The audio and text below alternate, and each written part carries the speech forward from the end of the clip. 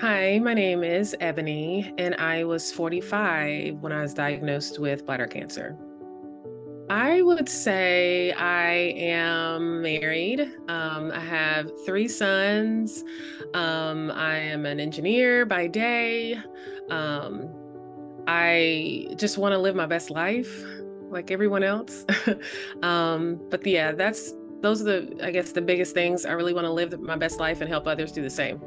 Yeah, so my initial symptom was after um, a visit with my annual, you know, uh, gynecologist, and um, they noticed that there was more blood in my urine uh, or a microscopic level, like I couldn't even see it, um, but a microscopic level of blood in my urine. And they referred me to a urologist to try to look in um, to what was going on. Kind of freaked me out, but um, that's how it started. Like over two years ago, um, pre COVID, actually.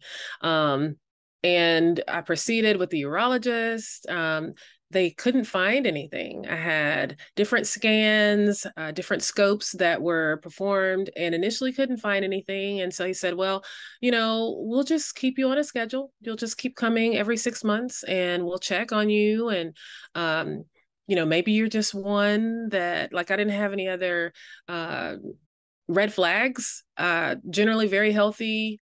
Never went to the doctor except for my physicals, not on any other medication, no, you know, other high blood pressure, cholesterol, diabetes, no other health issues. Uh, was pretty active. So um, the doctor was kind of like, well, we're not seeing any smoking, and so we'll just keep watching you, right? Um, that's how it started. Didn't have any pain, no other symptoms. We initially thought it was a UTI, um, so I was prescribed an antibiotic and then thought, okay, we're good to go. And it kept going. so um, then the next thing was, okay, let's check your IUD, go back to your gynecologist, check the placement of your IUD, make sure that that's in place. Did that. Gynecologist was like, yep, it's good. No problems. Um, then they thought, well, maybe it's just um, we have to confirm that it was you know what what the source of the blood was like is it just um you know menopausal stuff going on or if it you know just what's going on and honestly uh, it seems like in hindsight now i've read and studied that most women are misdiagnosed um because I guess our bodies are a little complicated. And so people, you know, go grasp for the, you know, the initial things that may be probable, but all of those things we were batting zero. I also went to he referred me to a kidney doctor to look at the functions of my kidneys and all was well. And so you know i went back to the urologist and they were like well we'll just keep an eye on you. And that eye on me was a check every six months. I wanted to trust my doctors to believe that they would know what was wrong. And when the doctor was telling me well we don't know.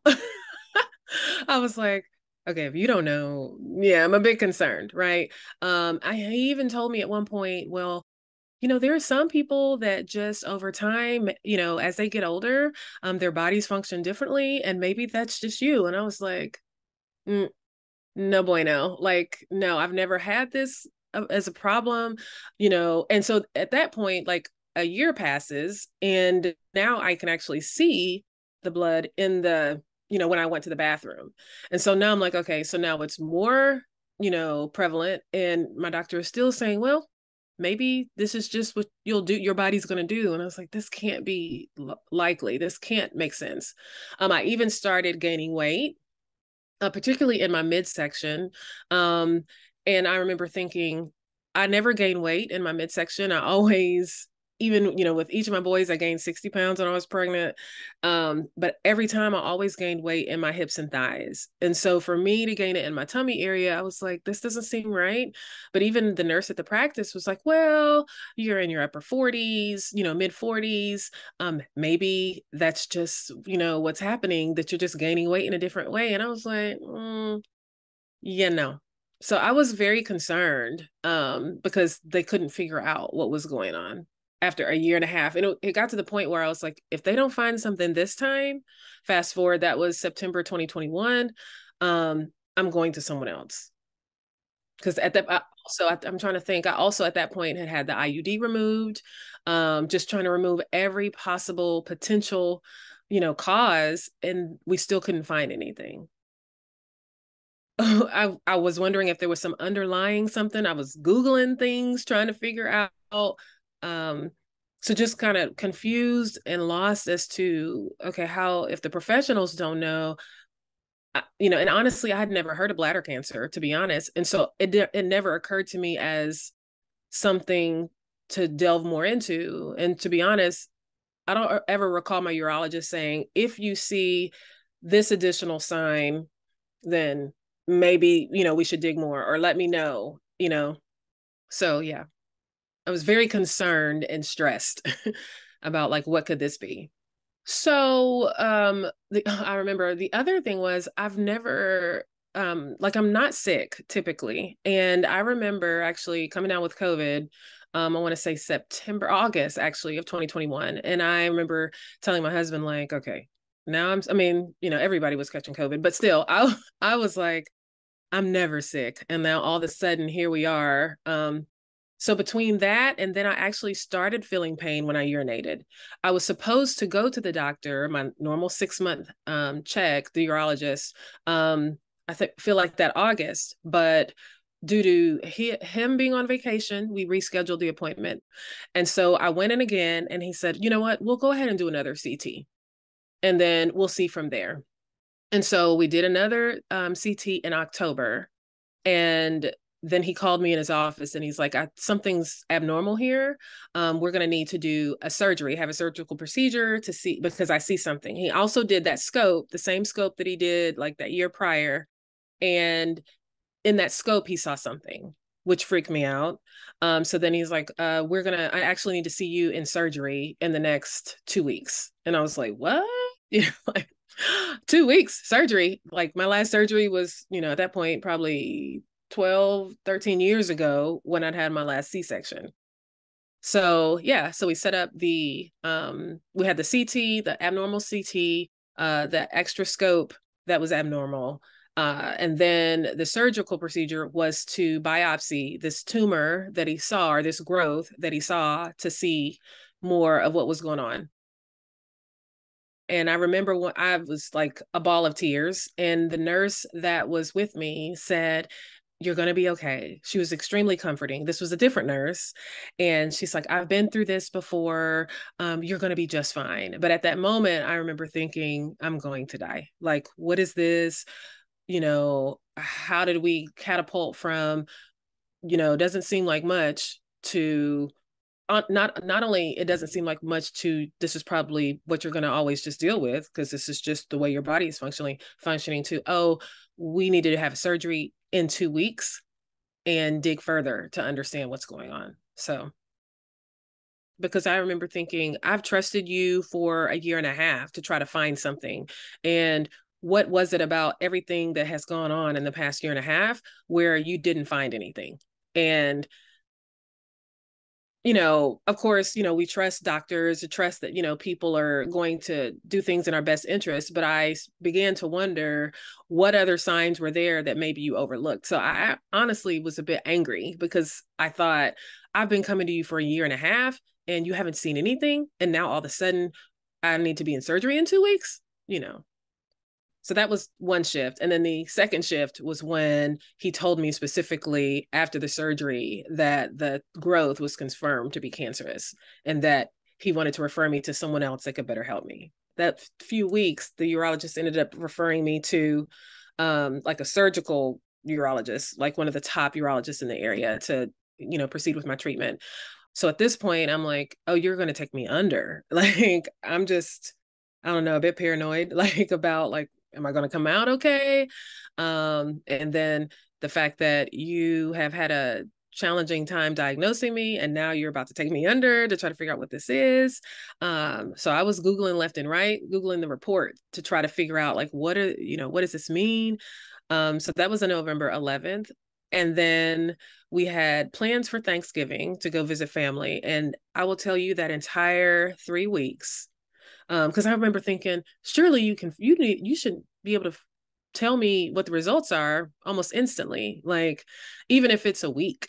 Just I'm thinking all the worst. right? Um, but nevertheless, we went to visit family for Thanksgiving. But the entire time in the back of my mind, I was like, Am I going to get this result? When am I going to get the result? And is the result going to be, you know, what I'm, you know, one of my biggest fears? And so fast forward to November 29th, um, they called me in to, you know, come get the results. And I remember thinking, okay, the fact that they've called me in, this can't be good. So my husband went with me for that appointment. And um, that's when I, you know, first saw the verbiage on the, you know, um, report to say that I had, um, was it high grade urothelial muscular invasive bladder cancer. And I was like, what? You know, what does this mean? What stage? What, you know, so I'm just, I remember that was the second shift where I was just devastated. Like, I don't know that I've ever cried like that, to be honest, after getting those results. And I couldn't even, my, I remember my eyes just welling up. Like I couldn't even read what was on the paper um, just because I was just so emotional from what the diagnosis was. And he was optimistic and, you know, trying to be encouraging in that visit. But I just remember thinking, what if I hadn't come back because I'm listening to y'all and you're saying, oh, well, you know, it should be fine. Your body's just maybe designed to work this way. What if I hadn't come back? Um, what if I didn't prioritize this visit based off of some of the other verbiage that y'all were sharing with me? Yet me telling you something that doesn't seem right. What if I hadn't come back? And now you're telling me that I've got this aggressive um, tumor growing in my body. And now you're telling me you're going to refer me to someone else because it's a little more complicated than what you thought. Like, really? I just remember think my my instant thought was, how much time do I have? How much time do I have? Um yeah, because one, I didn't know anyone with bladder cancer. I'm a bit of a fluke, like the doctors would say, like you're a unicorn, like you checking all the boxes, trying to live a healthy lifestyle. Yet here we are. You've never smoked. You're not an older white male yet here we are so anyway i i just it was extremely devastating for me because i remember thinking that my children are going to grow up without their mom and that was a space that i've always not wanted to be in because i hated it having to experience it myself you know i remember him asking me if i had any questions but i was like oh, yeah i got all the questions but i don't know what questions to ask you know um and i don't know if he was just struck by the amount of emotion amount of emotion that I was expressing. Um, but no, there wasn't. It was just more of a I'm going to connect you to someone else that's going to help you better than I can.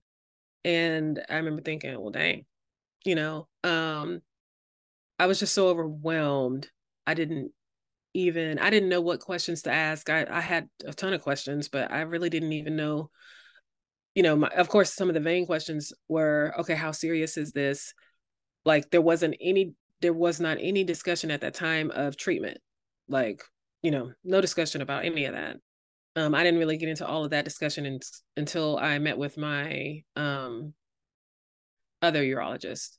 But after that diagnosis there was a slew of appointments. Like i can't even tell you how many appointments. I couldn't like every day it felt like i was at another appointment and it was a whirlwind whirlwind of appointments. Uh, that surprised me, you know, because I had to go to different doctors for them to check my heart, to check my liver, to check all these different um, organs because the hematologist knew what about what my body was about to have to you know undergo so they were trying to make sure that my organs were going to be able to withstand all of these um, really harsh treatments that i was about to um, start taking yeah, the hematologist and urologist worked hand in hand to um, enlighten us on what was about to happen. Uh, my first appointment with the urologist was accompanied with this huge binder, like this three inch binder of tons of information, including a section on um, hospice care. um, but all of it was about the medications that I was going to have to take, the potential types of um, urinary diversion, um, you name it. That binder was the gospel for me for the next several months. And none of I remember thinking on the cover of that little pamphlet, none of the people that have been diagnosed with this look like me. There were no, um, there may have been one woman on the picture, but she wasn't African American. Um, everyone on that pamphlet looked older and not like me. But I was like, okay, here we go. The urologist talked mostly about what the entire treatment would look like. Um, yeah, the urologist talked like beginning to end. The hematologist specifically talked about my chemo. So I would go every two weeks, every Wednesday. Um, and I had four different drugs. Um, the acronym was MVAC. Um, and it was four different drugs. And I would go in for my blood work at like eight o'clock in the morning, and then they would administer the chemo. Um, none of it was administered at the same time. So you'd have to have different, um, there was a series and so, what the urologist explained to me was once I was done with my infusion, then we would have to have a surgical procedure. That surgical procedure would absolutely mean the removal of my bladder because of the type of cancer that I had. Once it was very clear that the tumor had gotten to the muscle wall of my bladder, the bladder has to come out. Like there is no, there's potential spread to other organs. And so we were very concerned about that. Um, so I had to do additional scans to see how far potentially had spread. Those additional scans confirmed that it only spread to lymph nodes in the immediate area. And I remember thinking, like, can't we like get a bladder? Like, can I get something donated from somebody? Like, surely I don't have to lose, you know, like do we have to is it seems pretty extreme like you know and um, i remember another a breast cancer survivor telling me um, well ebony at least it's not breast cancer and i remember thinking do you girlfriend nothing no shade on whatever else you went through but i'm about to lose a bladder. Like i'm about to potentially have to wear a bag outside of my body. We don't even know yet like what the outcome is going to be. And i can make a choice but the other concern i had with my doctor i remember asking him wait a minute how many women have you done this surgery on? Like i know you typically do this on men older white men but like how many have you done this on like I need to see statistics. The engineer was coming out in me at that point. And I was very concerned because um, I was reading, Googling. And that because it was muscle invasive already, the bladder would have to go. So there was no, but it was about what to do in that place um, that you had to decide, right? What were your options? Yeah. So there were a few options. Um, actually, so there are three with most, with, you know, as far as what science dictates. There are three different options. My surgeon um, made it very clear that he did two. Um, that there were two options. So I could have the bag outside of the body, um, which there's a more technical term for it, but I can't remember. In my brain, I was like, okay, that's the option bag outside of my body that I would need to empty. Um, uh, then there was an Indiana pouch, which my doctor didn't do. And then there was um, the neobladder, uh, which is what I decided to go with. But the neobladder, what that consists of is taking a portion of your intestines, your small intestines, and creating a new bladder. So, fast forward, if in the middle of surgery they determine that that small portion of my intestines was not viable um, for um, to be used as a bladder, then that meant that they would have to punt and go back to the bag outside of the body option. So I didn't know, I would not know until I woke up from surgery what what I ended up with. So my prayer was neobladder. That was ultimately what I decided to go with. Um, but he also made it very, very clear that the neobladder surgery is incredibly invasive and much more involved and a longer recovery time. But I was like, yeah no that's what i want. Like we're going to figure this out after you know researching and seeing um i mean he also made it very clear that a lot of people like from surveys um 50 50 will say that their quality of life is back to where it was before the surgery. But yeah and so i decided to go the neobladder route. Um that's an eight hour surgery because they have to do three different things remove your bladder take some of your intestines, create a new bladder, then reconnect everything. Um, oh, and my surgery was a robotic procedure.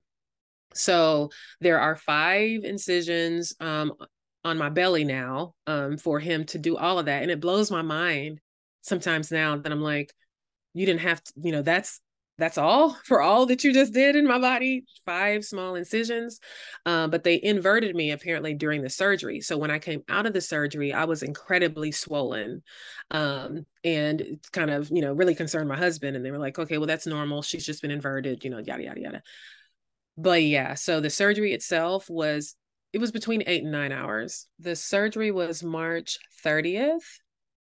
Um, I was in the hospital until April 27th. Um, I came home for four days and then was back in the hospital with sepsis for another week and a half. Um, that was extremely challenging. I knew the doctors said the recovery period would be difficult, but even still, when I came home, I still had um, bags hanging from my kidneys um, because we were trying to figure out my kidney. My right kidney decided that, you know, I don't know if I want to work right. So, so that was a bit challenging. So I had to wear um, uh, I had a nephrostomy tube and a, and a bag and a, an external bag that I would wear um, to help drain urine out of my right kidney. Um, that was all the way until June 19th. Um, so I wasn't feeling very attractive, wasn't feeling like my best person. Um, that on top of a lot of bone pain from the chemotherapy. Um, like I remember one of the nurses um, talking with me about so one of the things that comes with when you have the neobladder um, is catheterization self catheterization while it's not something that you know, while everyone's outcome may be different, so some people may only have to catheterize at night, some people may have to self catheterize during the day. I remember not even knowing that my urine came out of a different hole. Biggest thing as far as recovery was training my neobladder.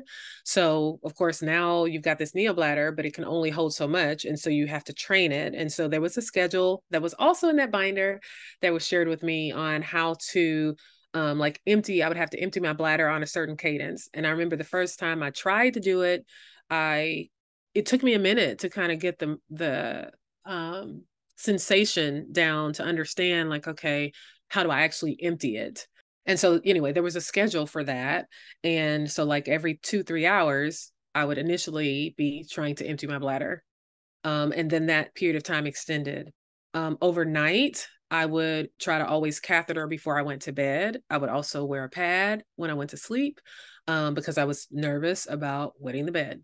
Um, I don't have to do that now, but um, I do have to, I do wake up in the middle of the night still to empty my bladder.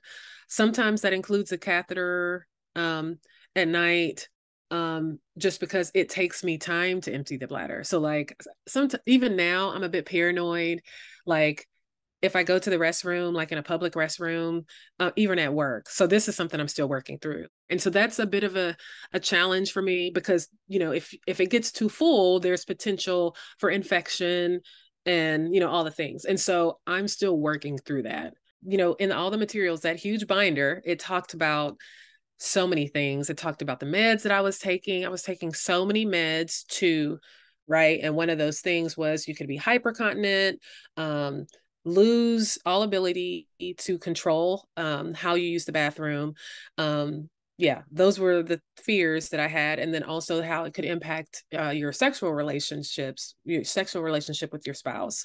Um, and I just remember thinking, okay, look.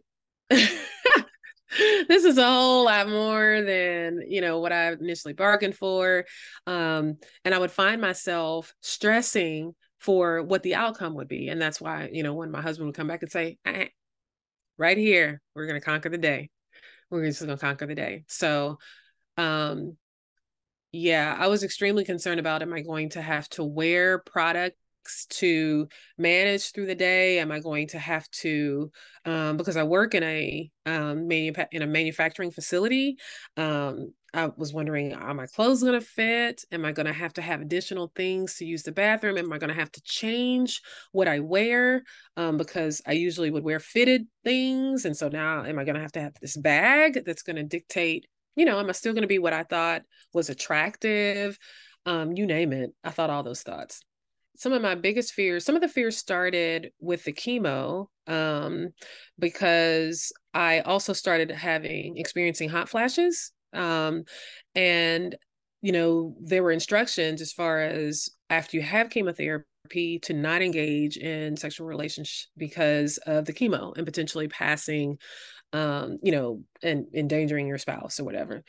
And honestly, um, my husband, you know, I I remember thinking as a woman, am I going to be able to um, help you meet your needs? Um, are you going to be like um, disappointed in you know still being married to me because now this for better or worse is looking a whole lot worse than when we started 16 years ago um, and he reassures me even now um, bay the same god that helped you through this cancer is going to be with us as we work through um, you know getting you back to where you feel comfortable with different things, right? Um, he um, doesn't, you know, he doesn't pressure me or even, um, it's just more of a, um, I'm patient, I'm here. Um, yeah, and that's been extremely comforting as I try to figure out how to get my body to work. know that you don't have to do everything. Like I'm, you know, as women, we're used to doing everything. So let your body heal. Like, don't be in a hurry to do all the things. Um, make sure that you stay active, even on days that you don't want to, and have an accountability partner that will help you stay active. So even if it's, I'm walking 10 minutes a day, and then you know, and the following week you're walking 12 minutes and 15 minutes, but having someone meet you to say, okay, girlfriend, let's go walk. Um, that activity was huge for me, um, even if nothing more than just getting out. Um, I also um, I had a playlist that was also encouraging to me. So on those days that were rough for me, um, I would, you know, put that playlist on, and that would typically help me feel better. Um, those were some of the main things. You know, at the end of the day, no one knows your body like you do. And, you know, in hindsight, I wish I'd possibly gone somewhere else sooner, you know? Um, and so I just challenge everyone out there if you really, at the end of the day, you know, doctors are doctors, but they are practicing medicine. They're practicing. So they will not know everything, but you know your body more than anyone else. And all I can challenge anyone out there that's, you know, debating or is there something wrong? Should I do more? Yes, you absolutely should. Like, don't debate, don't delay, um, don't let months go by before you inquire or search more. Um, again, always remember you know your body more than anyone else, and don't be fearful of what the outcome can be um, because the sooner you find whatever is going on, um, the sooner you can start treatment, the sooner you can do the life saving work um, so that you can be around for those that love you.